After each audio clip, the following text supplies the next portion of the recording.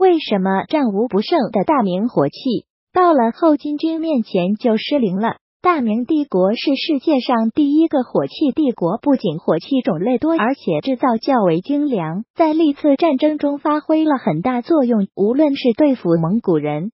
日本人还是国内叛乱，大明的火器总是攻势凌厉，战无不胜。然而凡事也有例外，明军的火器到了后金面前几乎完全失灵了。在野外作战，明军的火器几乎发挥不了作用，只有在守城时可以给明军一定的杀伤。后金是一支与众不同的军队，首先与明军以往对手相比，后金是支与众不同的军队，和蒙古部落一盘散沙。相互倾轧，相比后金军不仅团结，而且敢于猛战蒙古人。与明军作战主要是为了抢掠，抢完后就立即退回漠北。为了避免伤亡，一听到枪炮声就立刻退走。而后金除了抢掠以外，还要攻城略地。他们不怕伤亡，即使枪炮如雨，还是会硬着头皮往前冲。为了抵御枪炮，后金军研制了一种特殊的武器。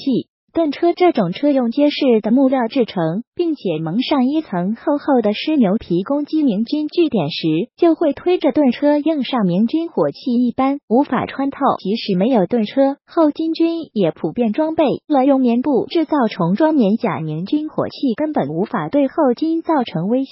此外，后金军与日军不同，他们的骑兵非常强大，能以风驰电掣般的速度冲到明军面前，让明军的火器失。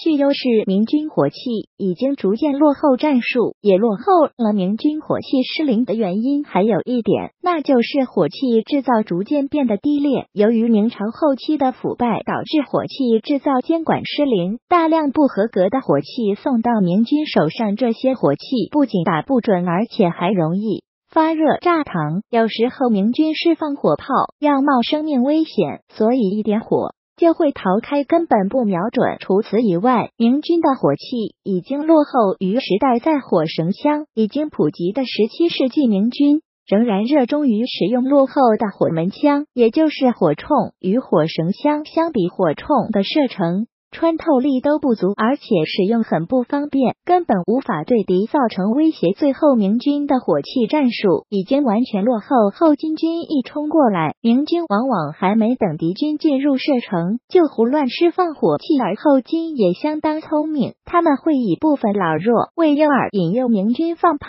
等明军火器释放完毕，后金军的精锐骑兵马上发动冲锋，而明军根本来不及装填进入近战。出身于列。民族的后金肯定比明军厉害多了。当时一般明军与后金军的作战模式是什么样的呢？后金推着盾车缓缓驶向明军车营，明军以战车为依托对后金放枪炮，但是却对敌人毫无作用，因为明军的枪炮只能平射，不能抛射，对付不了躲在车后面的敌军。相反，后金军的弓箭手可以在盾车后面抛射，从而杀伤明军。当靠近盾车后，后金的重装步兵就会一拥而上，破坏明军的车阵。进入近战后，明军就输定了。随后，后金精锐骑兵加入战场，明军一般就全军覆灭。了，所以在野战中，明军对后金取得的胜利屈指可数，只能依托坚城对后金作战。然而，当满洲人获取了红衣大炮